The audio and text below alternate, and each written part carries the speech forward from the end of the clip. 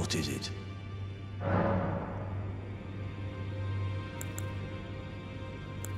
Ah, I see you've laid your hands on the other secret medallion.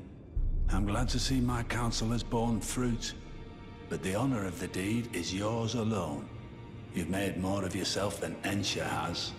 Now, more importantly, both secret medallions are in your hands. I suppose you'd like to know then? What awaits you on the path ahead? Me too, my friend. Me too. I wait with bated breath.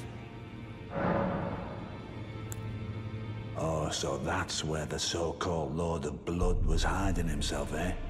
A fitting little squat for that deluded maniac to bleat about the revival of his precious dynasty.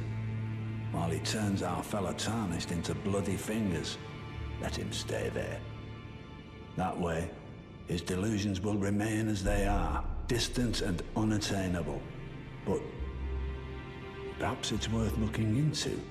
If what I've heard is right, then maybe. Ah, my apologies. Lost myself for a moment there. The information you shared is of great value. As promised, your reward. And it is a wondrous thing indeed. You are a true fellow. All I ask is that you remain constant.